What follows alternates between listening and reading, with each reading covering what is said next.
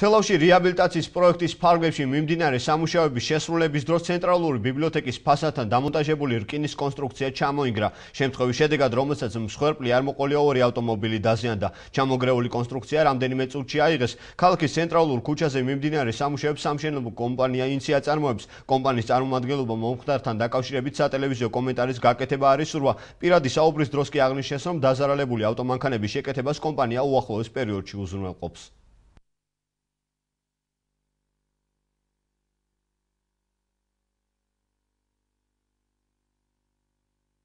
მაღაზიიდან გამოდიოდი სიგარეტი ვიყიდე და ამ დროს რა ვიცი მივხვდი რომ მოდიოდა ეს რაღაცა. გამოვიქეცი მაგრამ მაინც ჩამეცა მხარში ჩამეცა. ერთი ფიცარი თავზე ჩამომარტყა და გადავრჩი რა რა ვიცი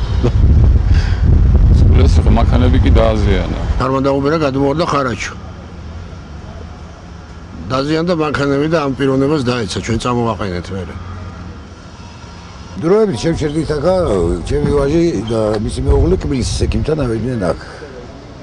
ხო და თლიანად ესე გაყოლებით რაც აქ მოთავსებული იყო ეს ხარაჩუები ერთნაირად გადმოორდა და დაეცა ესე იგი მანქანებს ერთი მანქანა მეორე მანქანა არის დაზიანებული. პარპრიზი გაუტყდა და კაპოტი აქვს და ესე იგი ერთცალი კრილო ესე იგი დაზიანებული იქ.